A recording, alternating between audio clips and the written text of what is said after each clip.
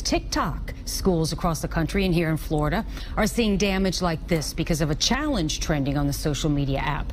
It's called the Devious Licks Challenge. A new TikTok trend is inspiring students to steal items from school and even vandalize bathrooms. It's called the Devious Lick Challenge. And this morning, several local school districts are warning everyone to put an end to it. New TikTok challenges encouraging kids to wreak havoc in schools are going viral and South Florida schools leaders want it to stop. South Florida teachers unions sending out a warning about a new TikTok challenge that targets teachers. The social media platform is already being blamed for students damaging bathrooms for something called devious licks likes. Result of two so-called challenges on TikTok. The so-called bathroom and devious lick challenges encourage users to post videos of themselves stealing items and damaging school bathrooms. Destructive challenge on the social media site TikTok has teens stealing and destroying property at their schools. The result is thousands of dollars in damage to schools across the Bay Area and the country all documented for likes on TikTok. The latest TikTok trend to reach schools in the DMV the result of the Devious Licks Challenge, similar to what you'll see in schools across the U.S. Soap and paper. Viral TikTok trend going in the wrong direction. It's happening in our local schools. So this trend, you might have heard of it. It's called Devious Licks, and students have been recording themselves vandalizing and stealing school property. Fox 5's Paris Jones is looking into how it's affecting our area and has reaction. Good evening, Tigers, and welcome to Tiger News. I'm your host, AJ Clark, this evening, and come to you all with a developing story relating to the popular social media platform TikTok. this app is very popular amongst teenagers for dancing, how-to, and meme videos, but unfortunately this app has recently had an increased negative influence on teenagers and has even led to some crime.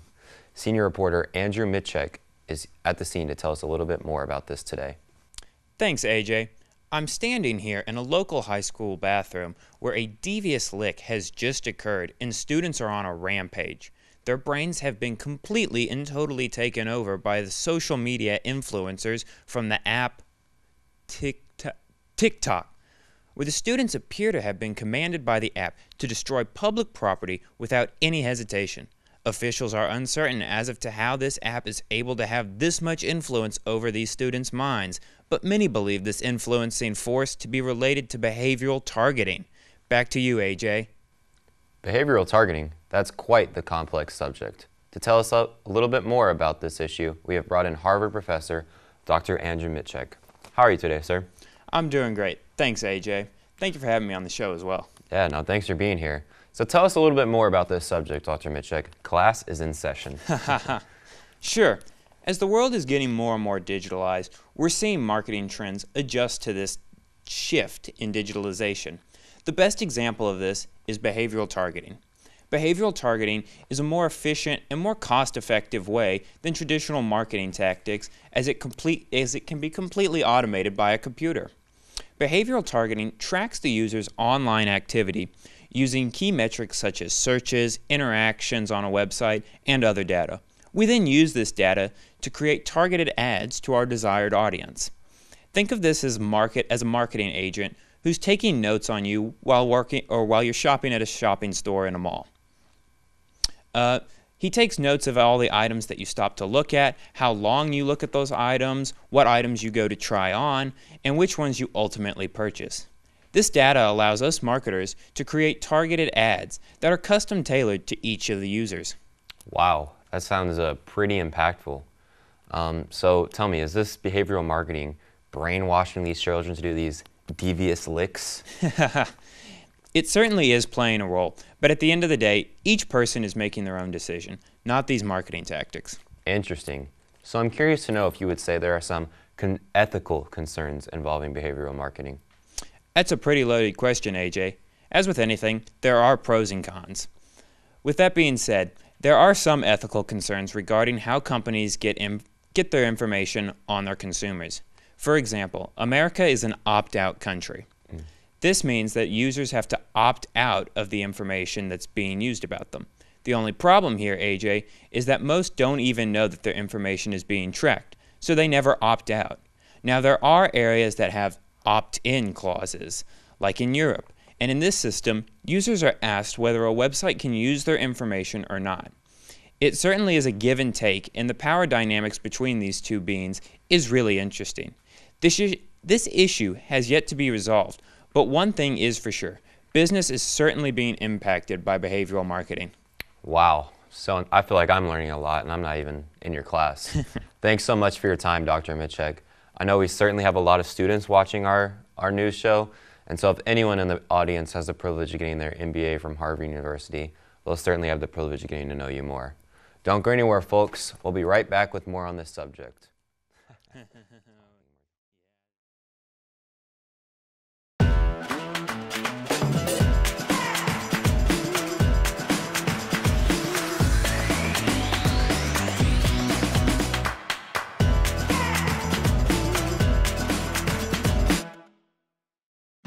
Introducing Google Shopping. It's Google for shopping. It helps you find the best products, prices, and places to buy. Say you're looking for something specific, or really specific. Google Shopping helps you find the best prices. Or what if you're trying to find something special? Well, with Google Shopping, you can explore millions of products and reviews to discover what's out there. You can find products by location. Because who knows? That perfect item might just be available in your neighborhood. You can also buy products directly on Google Shopping. And if a product has this cart, you can buy it easily on Google. Plus, it comes with a Google guarantee, meaning you can shop with confidence. So whether you're discovering, deciding, or buying, check Google Shopping before you check out. Welcome back.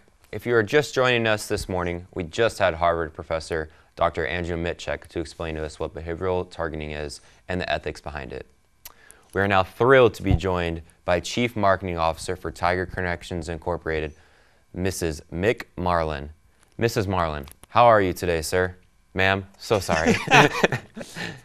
I'm good, AJ. Thanks for having me on the show today. Thanks for being here, Mrs. Marlin. We have you on the show today to explain to us how behavioral marketing has impacted your marketing strategy and business. And so, would you mind sharing your experience with us a little today? Certainly. We've seen a huge increase in the use of behavioral targeting in our marketing tactics.